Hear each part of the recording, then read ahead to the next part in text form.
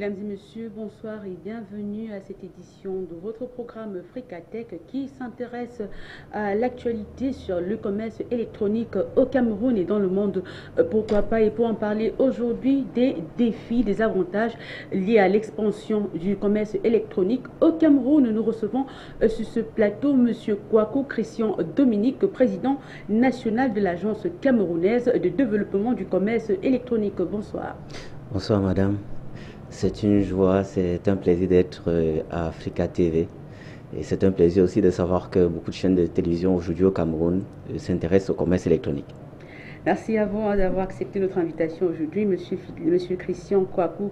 Euh, Dominique, aujourd'hui nous parlons du commerce électronique au Cameroun et nous savons que euh, votre agence, l'Agence camerounaise pour le développement du commerce électronique au Cameroun, euh, s'est fixé les missions de promouvoir les normes de conception et de sécurisation des réseaux informatiques, surtout ceux liés à la cybercriminalité et même de la piraterie dans le commerce électronique au Cameroun. Pourquoi? Justement parce que euh, pour que le commerce marche, il faudrait que ce soit sécurisé. Euh, il n'y a personne qui aimerait aller acheter quelque chose qui n'est pas bien. Euh, donc le commerce doit être sécurisé. Et comme c'est numérique, il faut donc que ce domaine soit bien sécurisé. Or, nous constatons que dans notre société, qui est la société bantou-africaine, tout ce qui est technologie, nous avons parfois peur de pouvoir l'utiliser. ce qui fait que le commerce électronique est là, mais beaucoup de personnes hésitent à vouloir euh, prendre cela pour pouvoir euh, euh, avoir de l'argent, pour pouvoir s'enrichir, pour pouvoir développer leur activité. C'est pour cela que nous devons donner cette confiance aux clients, mais aussi aux fournisseurs, afin que lorsqu'ils proposent des produits, que ces produits soient de bons produits et que les clients aussi soient satisfaits. Voilà, avec vous, hein, monsieur Kakou nous voyons que premièrement, vos missions sont celles de promouvoir. Et lorsqu'on parle de promotion, on parle également d'expansion dans le domaine lié au commerce électronique au Cameroun. Mais on a aujourd'hui observé que le domaine du commerce électronique au Cameroun peine réellement à décoller comme dans certains pays où il y a des plateformes où vous commandez, vous achetez en ligne et vous suivez tout le processus lié à la livraison de vos produits. Aujourd'hui, pourquoi est-ce que cela semble difficile au Cameroun? D'ailleurs, l'une des plateformes qui étaient considérées comme l'une des premières et qui était même en pleine au Cameroun, dont je voudrais parler de Dumia, a fermé. Pourquoi cela? Déjà, il faut euh, euh, savoir que euh, il y a eu une évolution du commerce électronique au Cameroun. Euh, depuis 1997, fin 97, 98, où euh, Internet est arrivé au Cameroun, où nous avons eu les premiers échanges en ligne avec euh, les premiers moteurs que nous avions, les LICOS, qui avaient des, liens vers les réseaux contacts, vers les caramels, vers, vers tous ces réseaux qui permettaient à des personnes d'entrer en contact avec d'autres à l'étranger, ce qu'on appelait les réseaux de rencontres. Et dans ces réseaux de rencontres, effectivement, beaucoup proposaient des produits et un des produits était parfois euh, des rencontres de mariage et tout, et tout, tout ça. Bon, euh, ça a évolué puisque à ce niveau, ce n'était pas des produits qu'il fallait donner, c'était plutôt des échanges euh, personnels. Bon, le commerce a beaucoup évolué. Nous sommes arrivés à un moment où il fallait proposer des produits à, à vendre et des produits à livrer. un problème s'est posé c'est que c'est difficile de livrer dans tout le territoire. Donc une personne qui est euh, au fin fond d'un village a du mal à recevoir son produit. Et même celui qui est en ville, lorsqu'il voit le produit qui est affiché euh, dans son euh, téléphone ou bien dans son ordinateur, il a du mal à reconnaître le même produit lorsque ce produit est livré chez lui. C'est pour ça que nous avons eu toutes ces difficultés même euh, à cela le fait qu'il euh, y a beaucoup de, préjugés par rapport au commerce électronique. Parce que beaucoup de personnes pensent que utiliser une carte Visa euh, sur Internet, ça va être piraté. Utiliser son téléphone pour faire un achat, euh, ça va être piraté. Ou bien on va savoir combien il se dépense, ou bien on va savoir ce qu'il fait de son argent. Donc les gens sont un peu, ils sont très réservés dans ce domaine. Or, euh, nous avons constaté que les Camerounais veulent bien utiliser faire du commerce électronique. Ils veulent bien être livrés chez eux. Il aimerait bien rester chez lui, qu'on lui livre son plat s'il veut manger, qu'on lui livre son ordinateur, qu'on lui livre son congélateur chez lui à la maison. Mais le problème alors, c'est quoi? Le problème, c'est que personne ne veut se lever pour pouvoir faire cette action qui est de euh, payer électroniquement le produit. Euh, je prendrai l'exemple de taxi. Nous prenons tous un taxi ou bien une moto. Il arrive qu'il euh, n'y a pas de monnaie. Et pourtant, vous voulez payer 200 francs de moto ou de taxi. Vous avez l'argent dans votre téléphone que vous pouvez transférer au moto-taximan ou bien au taximan. Mais vous allez voir que la personne préfère prendre ses 10 000, se balader dans tout le quartier parce qu'il cherche la monnaie pour remettre au, moto-taxi. Ce qui fait qu'il y a un problème de mentalité aussi au niveau de, la gestion de ce, de ce problème-là. Il faut également dire que euh, beaucoup de personnes se sentent bien avec de l'argent physique. Donc ils aimeraient bien avoir les 10 000 en main. Euh, c'est toujours bien d'avoir euh, beaucoup de monnaie, beaucoup d'argent en main, le montrer à tout le monde, euh, que de dire que voilà, j'ai dans mon téléphone 1 million ou 2 millions. Donc ça, ça, ça, présente, c'est mieux de, de, présenter ces 1 million en, en biais de 10 000. ce qui crée donc cette réticence de pouvoir utiliser euh, le commerce électronique comme un moyen de, percevoir de l'argent ou bien de faire tourner euh, l'économie actuelle. Or, ce serait une bonne chose si chaque Camerounais s'y mettait pour que le commerce soit quelque chose d'important. De, alors aujourd'hui, comment, dans notre pays. Aujourd'hui, comment pousser réellement les populations, alors les citoyens camerounais, à pouvoir euh, s'arrimer à ce mode de fonctionnement électronique Oui, il faudrait que euh, déjà nous essayons d'arranger le problème de livraison. Il faudrait arranger le problème de livraison pour que ceux qui sont dans l'arrière-pays puissent, lorsqu'ils ont commandé le produit, ils puissent se recevoir. Mais pas seulement.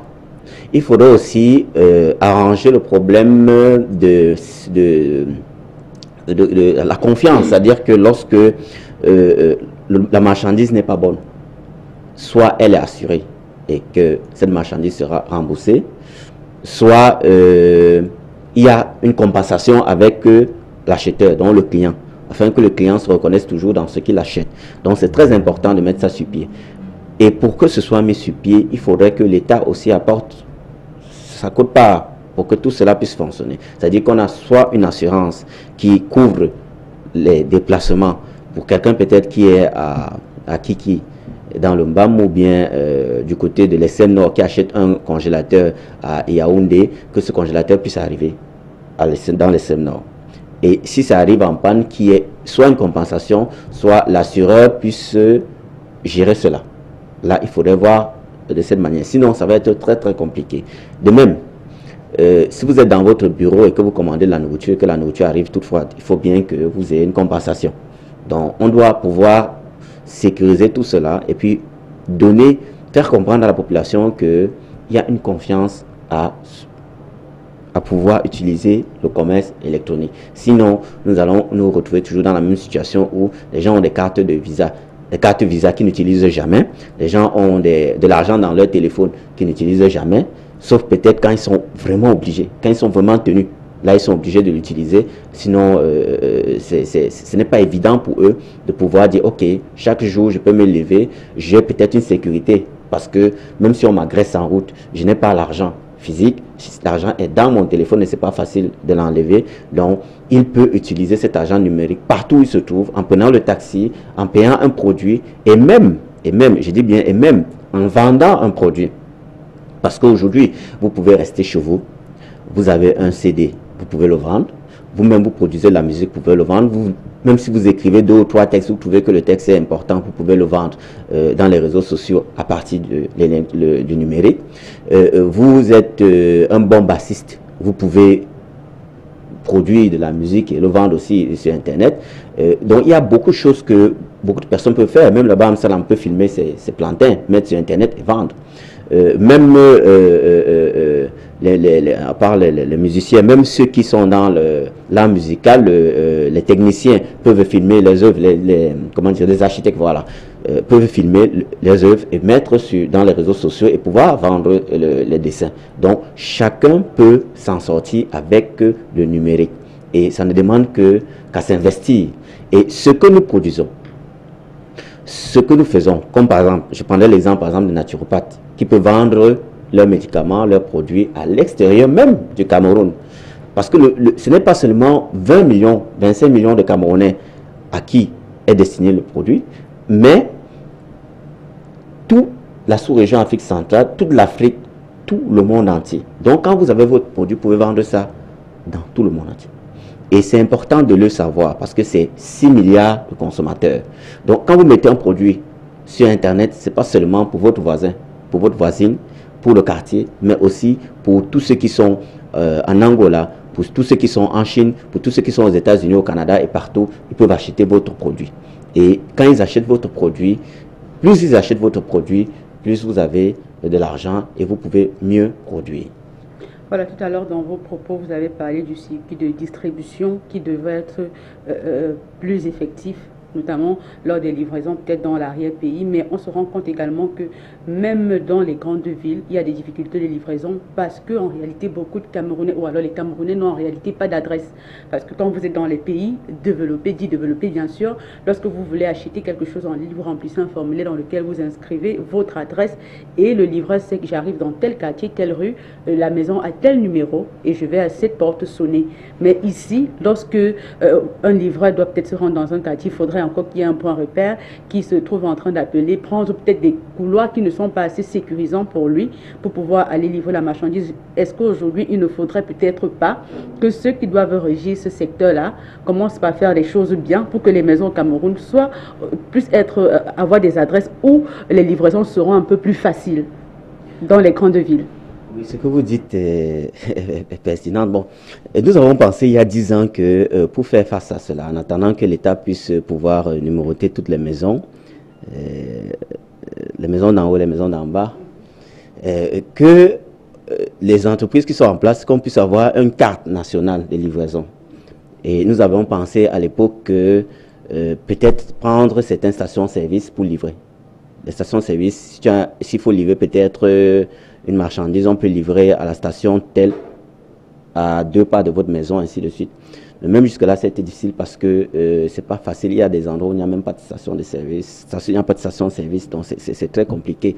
Là, il faut revoir entièrement la façon dont il faut coordonner ça. Nous avons également pensé à Campos, euh, qui appartient à l'État, qui pouvait aussi, puisque Campos a quand même des...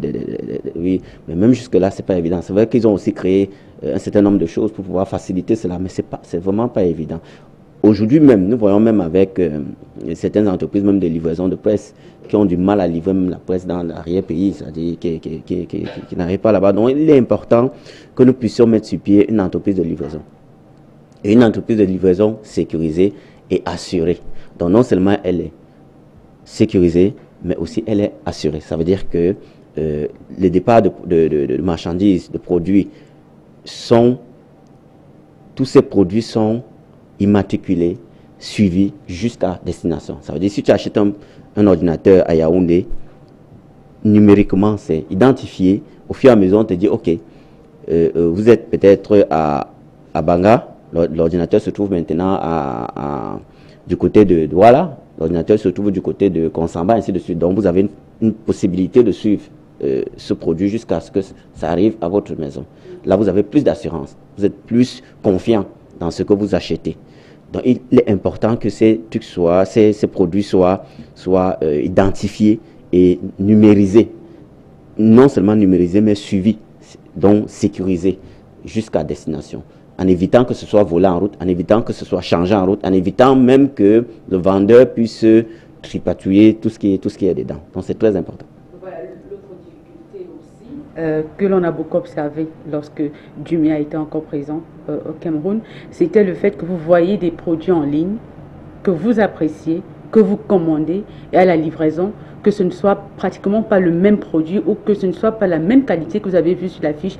Est-ce qu'aujourd'hui, les entreprises qui sont censées assurer le commerce en ligne ne se rassurent pas de la qualité du produit que propose Parce que le commerce électronique, par moment, une entreprise vous propose une plateforme et qui n'est forcément, c'est pas lui le vendeur, mais il met en relation le vendeur et l'acheteur. Mais aujourd'hui, est-ce qu'il ne faudrait pas mettre sur pied, je sais pas, une sorte de commission qui pourra vérifier effectivement la qualité du produit vendu sur la plateforme pour la fiabilité de, cette plateforme-là Il faut dire que de façon technique, c'est faisable. Il y a plusieurs sites qui le font. C'est-à-dire que vous avez un produit, vous avez euh, un, individu ou bien une société qui propose un produit, et puis vous avez des internautes qui achètent des produits, qui sont des clients qui achètent des produits, et qui peuvent euh, classer ce produit-là par notation, tout en indiquant par commentaire si c'était euh, un bon produit ou pas. Bon, il n'en reste pas moins que, au départ, il était prévu que c'est celui qui vend la marchandise, en fait, celui qui vend la marchandise de façon numérique cette marchandise dans son magasin. Mais plus nous avons, plus, euh, plus le temps est passé, on, a constaté que ces euh, entreprises de vente ne faisaient plus cela. C'est-à-dire qu'ils vendaient plutôt des marchandises qui, de la marchandise qui venait d'ailleurs. C'est-à-dire vous êtes chez vous, vous voulez vendre votre tennis, vous filmez un tennis tout neuf ailleurs et vous mettez euh, sur le réseau. la personne, le client achète la tennis qu'il voit tout neuf, et puis maintenant vous envoyez nos tennis chez lui. Oui, voilà. Et tout cela, pourquoi? Parce qu'à un moment donné, il manque de financement pour pouvoir surveiller toute cette ligne. Or, si ce produit était dans le magasin de la boutique, qui a mis les éléments en ligne, il pourrait surveiller, puisque au lieu même d'être livré, vous pouvez aller directement dans ce magasin pour prendre la chaussure que vous avez achetée ou bien que vous avez réservée. Mais si ce n'est pas le cas, c'est difficile parce que quelqu'un qui est à quelqu'un qui est par exemple à Baranté et qui met son, son, son, objet sur votre site, vous qui êtes à Yaoundé, vous ne pouvez pas contrôler ça là-bas. Ce n'est pas possible de contrôler. Donc il ne peut vendre que ce que vous ne connaissez pas. C'est ça le problème. Donc il était important que, euh, à moins que ces agences aient des succursales un peu partout, mais ce n'est pas évident parce qu'il faut payer. C'est tout un investissement. Payer le local, payer payer les, les, les, employés à peu près comme Express Union, c'est pas évident. Vous voyez là, ce qui se passe entre Express Union et Orange, et, bon, sans publicité avec les autres, autres opérateurs, c'est le fait que pendant que celui qui est à la maison à minuit peut faire les transactions, vous, vous êtes obligé de vous déplacer pour une agence. Là, il faut attendre la journée. Or, l'autre a la possibilité de le faire dans la nuit. Donc, il a un avantage sur toi. Donc c'est difficile. Et même s'il y a l'application, il faut qu'il soit connecté. Or, l'autre n'a pas besoin d'application connectée. Directement à partir de, de, du mobile, il peut faire la transaction. Donc il a une avance sur toi. Donc ça fait que tu es limité euh, dans le sens. Donc euh, il y a ces petits ces, ces dérangements-là qu'il faut essayer d'équilibrer pour que euh, les choses fonctionnent mieux dans, ce, domaine. Sinon, c'est important que tout produit qui est mis en ligne puisse être surveiller, contrôler jusqu'à ce que le client puisse avoir le produit. Voilà, l'un des aspects qui nous intéresse également dans euh, le commerce électronique au Cameroun, c'est euh, euh, le rôle du gouvernement. On le voit dans certains pays, le gouvernement est censé contrôler ce secteur parce qu'il est porteur pour l'économie nationale. On a vu dans certains pays tels que la République du Congo, il y a carrément un ministère lui à cela, c'est le ministère de l'économie numérique. Et au Cameroun, on voit que le, commerce électronique encore est arrimé au ministère des, des Postes et Télécommunications. Est-ce qu'aujourd'hui, il ne faudrait réellement pas qu'il y ait soit un ministre délégué de l'économie numérique au Cameroun pour pouvoir porter le projet de ce ministère, étudier le terrain et pouvoir voir dans quelle manière est-ce qu'on peut étendre cette activité-là dans notre pays. Oui, nous-mêmes, nous proposons un ministre, euh, un ministre délégué à l'économie numérique parce que ça nous ferait plaisir. Bon, il est vrai que le ministre des Postes aussi travaille beaucoup, elle fait beaucoup de séminaires, elle fait beaucoup de, formations là-dessus. Euh, elle travaille beaucoup dans ce secteur du numérique, mais il est vrai aussi qu'un ministre délégué à l'économie numérique ferait du bien dans ce secteur, dans le sens où euh, il y aurait plus de, de visibilité. Là, on verrait plus ministre dans le sens de l'économie numérique. Parce qu'on voit ministre des Postes et Télécommunications, c'est bon, plus vaste. Mais là, ministre délégué à l'économie numérique, c'est plus précis. En ce moment, on peut faire face à des problèmes euh, précis, comme euh, la carte de livraison du territoire, où euh, on peut mettre sa standard pour éviter que chaque entreprise qui arrive au Cameroun décide comme ça de, de pouvoir mettre sa carte et livrer partout. De même, on peut proposer à l'État de pouvoir avoir une liste de contrôle pour tout le monde, par exemple pour les cartes numériques. Les cartes euh, nationales d'identité. Parce que lorsque nous avons des entreprises qui viennent de l'étranger, par exemple, qui sont dans le pays, au Cameroun, et qui prennent nos cartes, qui prennent euh, le logement, c'est-à-dire là où nous habitons, c'est-à-dire la, carte de, notre maison, qui prennent tout, la carte, la signature, trois signatures dans leur papier. Mais s'ils décident un jour de, faire les choses à notre place, je ne sais pas, qu'est-ce qui nous couvre? Parce qu'il n'y a rien qui, mentionne, qu'est-ce qui nous protège par rapport à ça? Par exemple, lorsque je vais déposer, ou lorsque un Camerounais dépose ses trois signatures dans telle agence de de communication, par exemple, ou de, commerce électronique, avec euh, sa carte d'identité numérisée, avec tout là où il habite, tout, tout, tout, tout, tout. En fait, je ne sais pas, je sais pas qu'est-ce qui nous protège de ça. Je ne sais pas qu'est-ce que l'État pense de ça. Je ne sais pas si, quelqu'un un jour décide là-bas de prendre ça pour aller ouvrir un compte au nom de, de, ce citoyen, ou bien il prend pour aller faire une transaction, qu'est-ce qui va se passer? Parce qu'il est vrai qu'aujourd'hui, on n'est pas encore au top top, mais le jour où le commerce est vraiment lancé, où beaucoup de gens s'y mettent et ça tourne, qu'est-ce qui va se passer? Est-ce qu'on ne pourra pas se retrouver dans ce genre de situation? Donc c'est ça, ça justement le problème. Donc il est important que ce ministère, comme vous dites, euh, peut-être pas ce ministère, ce ministre qui pourra peut-être être, euh, de, mine postelle, ce serait une bonne chose pour nous. Oui, parce qu'il y aura plus de visibilité, et il sera peut-être plus accessible en termes de, facilitation des difficultés, des problèmes sur le terrain. Voilà, nous parlerons également de ce secteur porteur. On sait très bien que tout ce qui arrive avec des avantages et également des inconvénients pour certains. Euh, dernièrement, au Kenya, on parlait par exemple des personnes qui avaient des boutiques et qui aujourd'hui ont décidé de faire dans le commerce en ligne et qui ont décidé de fermer les boutiques parce que ça allait coûter très cher au niveau de la location euh, du lieu pour le loyer, au niveau également des impôts, des taxes qu'ils avaient à payer, qui ont ramené les marchandises à la maison et qui proposaient les marchandises sur les plateformes en ligne. Ça leur revenait moins cher parce que si ils ont des boutiques, il, il faudrait des gérants.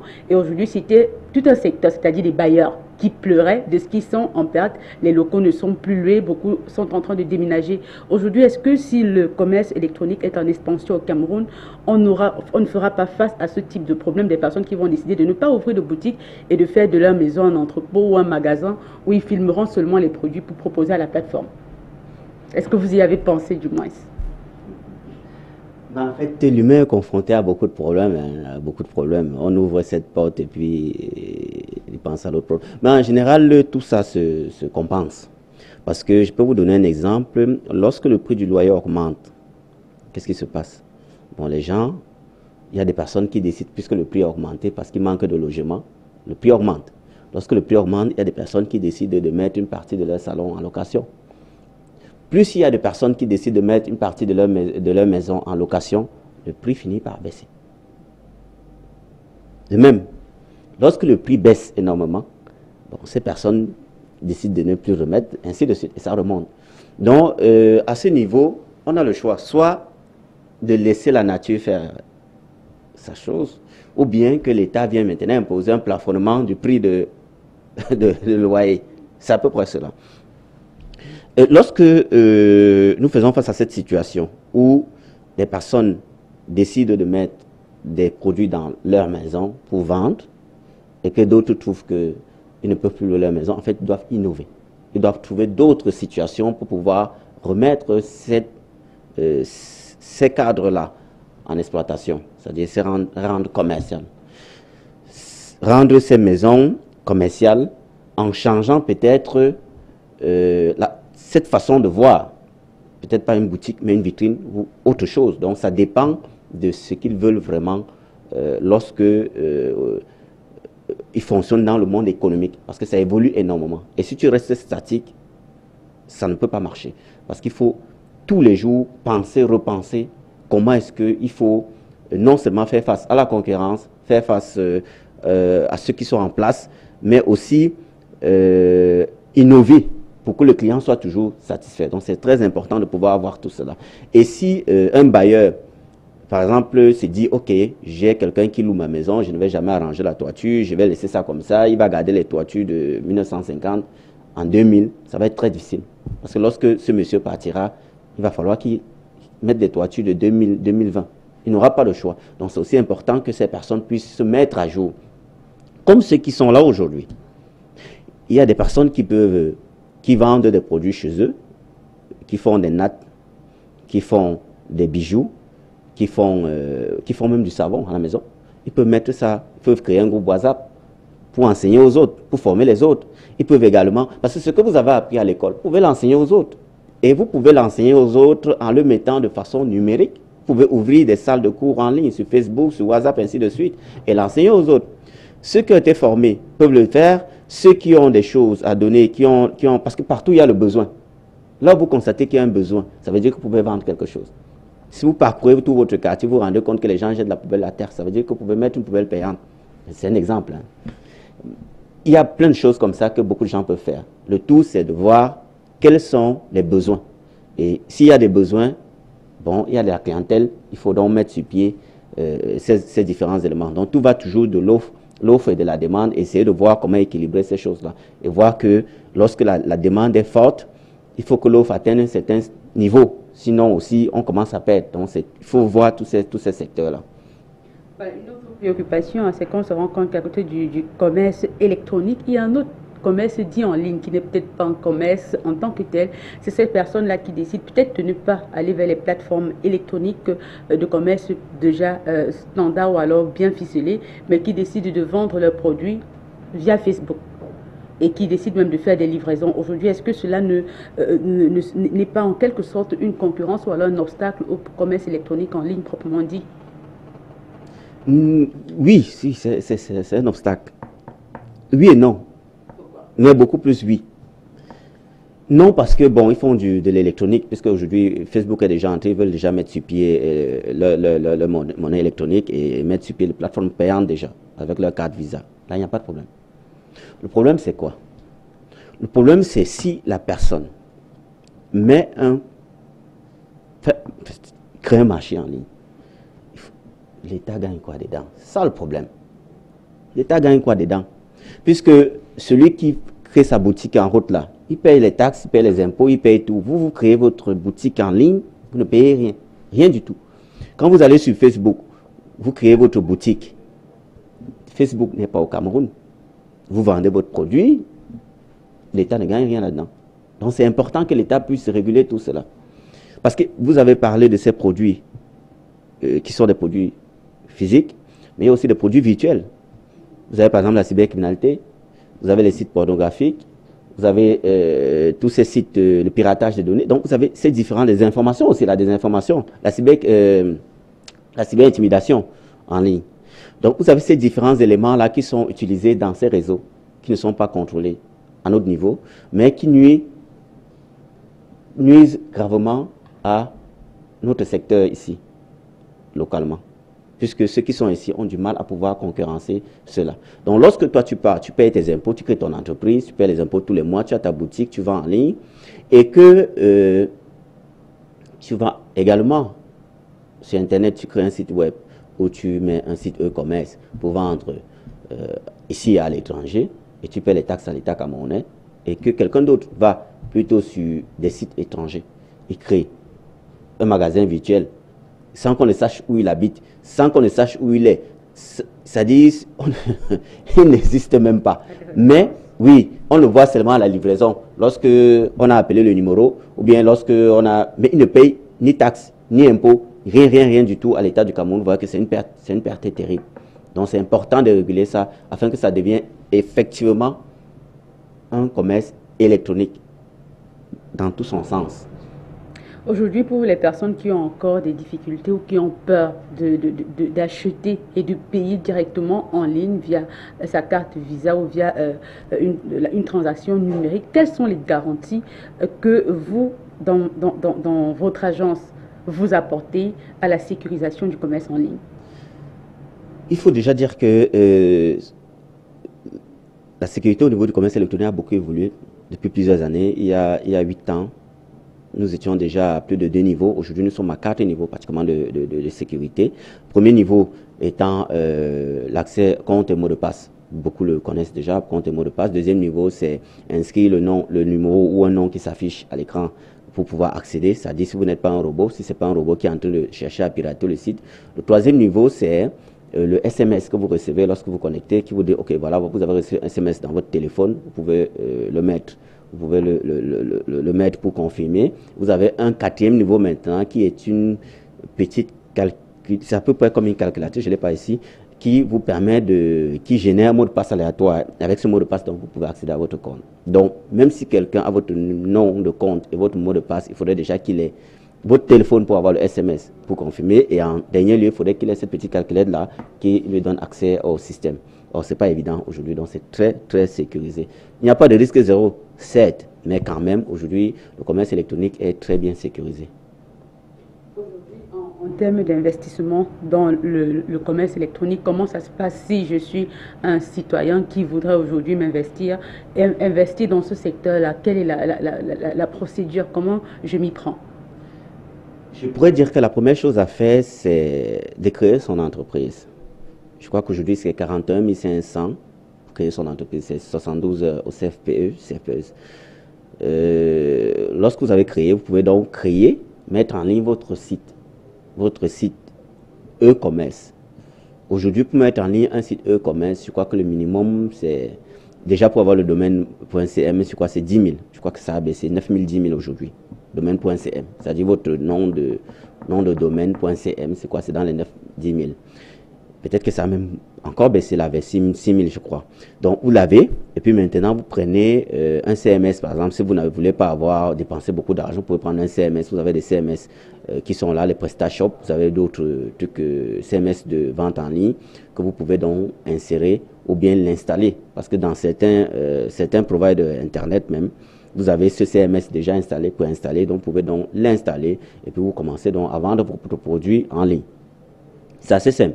Et si c'est difficile, vous, allez vous faire former, tout simplement. Vous, vous apprenez, il y a même des modules d'apprentissage. Ce que les gens oublient souvent, c'est d'aller sur YouTube pour apprendre. Oui, il y a beaucoup de modules là-bas d'apprentissage. Euh, vous pouvez euh, visionner des vidéos là-bas qui vous montrent comment mettre euh, ces éléments en ligne. Ça vous permet de mettre votre site en ligne. Lorsque votre site maintenant est mis en ligne, il faut maintenant vulgariser le site. Là, vous pouvez créer un groupe WhatsApp avec déjà vos amis à qui vous demandez de partager à leurs amis. Et vous pouvez même créer un marketing de réseau pour permettre à ce que votre produit soit connu de tous. Euh, vous pouvez aller sur Facebook, créer une page pour vulgariser votre produit. Si vous avez une carte Visa, vous pouvez sponsoriser votre, euh, votre site sur Facebook. Là, ça couvre une vaste zone. Je crois que pour ceux qui le font, ils ont constaté que vous pouvez faire des choix de population, des choix de, de zone et tout ça par rapport à votre produit. Mais également, pour ceux qui sont sur Facebook, euh, pour ceux qui sont sur WhatsApp, c'est bon, puisque vous avez les gens avec qui vous connectez, c'est ce que vous connaissez. Sur WhatsApp, sur Facebook par exemple, vous avez des personnes qui viennent que vous ne connaissez pas. Donc là maintenant, vous devez aller chaque semaine dans la zone euh, de, de statistiques pour voir qui se connecte sur votre page, qui visite votre page. Là, vous voyez, il y a combien d'hommes, il y a combien de femmes, ils viennent de quel pays et qui restent le plus longtemps sur la page. À ce moment-là, vous avez la possibilité de voir la fréquence et de pouvoir corriger vos publications pour que ça puisse intéresser le plus grand nombre et pouvoir vendre le plus. Mais toujours est-il que la communication, le marketing est très important pour pouvoir vendre son produit dans le numérique. C'est toujours du bouche à oreille, mais c'est aussi des envois d'amis en amis pour que tout le monde soit informé. Donc aujourd'hui, c'est facile pour chacun, même avec un peu de pouvoir se lancer, de créer son groupe, de vendre euh, ce qu'il fait de bien et chacun a quelque chose qu'il fait de bien. Si vous connaissez chanter, chantez et vendez-le dans le numérique.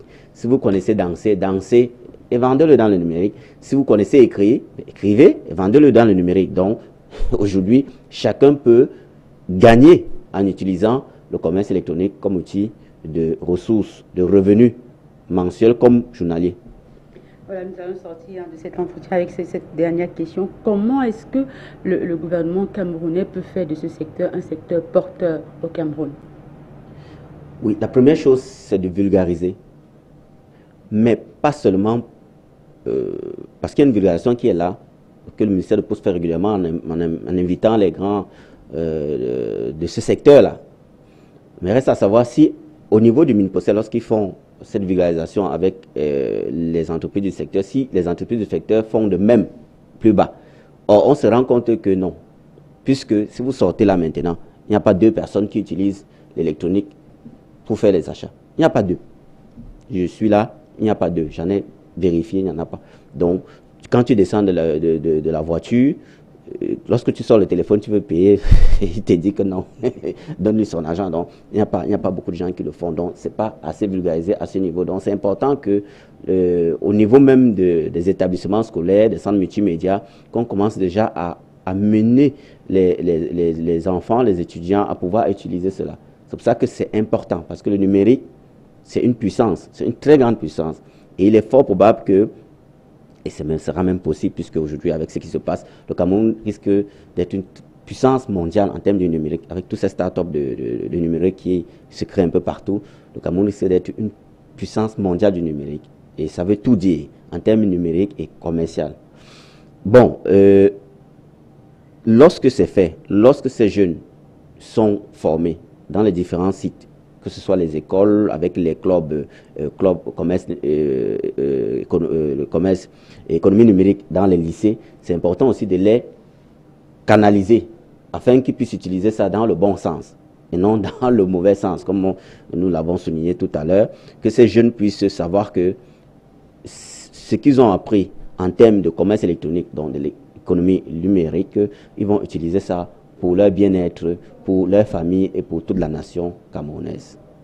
Merci à vous, Monsieur Kwaku Christian Dominique, de nous avoir accordé euh, cet entretien pour parler du commerce électronique au Cameroun, les inconvénients et aussi le processus même euh, qu'il faut pour pouvoir investir dans ce secteur. Vous l'avez écouté, le secteur est porteur et vous pouvez opérer toutes les transactions. Le secteur est également sécurisé présentement. Euh, plus de peur de pouvoir payer en ligne via vos cartes Visa que vous avez peur de voir être piraté. Il faut pratiquement 41 500 francs pour pouvoir investir dans ce secteur, c'est-à-dire créer son entreprise, et 10 000 francs pour pouvoir créer un site que vous pourrez exploiter et peut-être suivre des cours là-dessus pour pouvoir bien gérer votre site. Voilà sur quoi portait notre émission de Fricatech aujourd'hui sur le commerce électronique avec le président national de l'Agence de développement camerounaise du commerce électronique. Merci à vous, hein, monsieur Kwaku Christian Dominique. Je vous en prie, c'était un plaisir pour moi de me retrouver ici. Merci beaucoup pour votre invitation.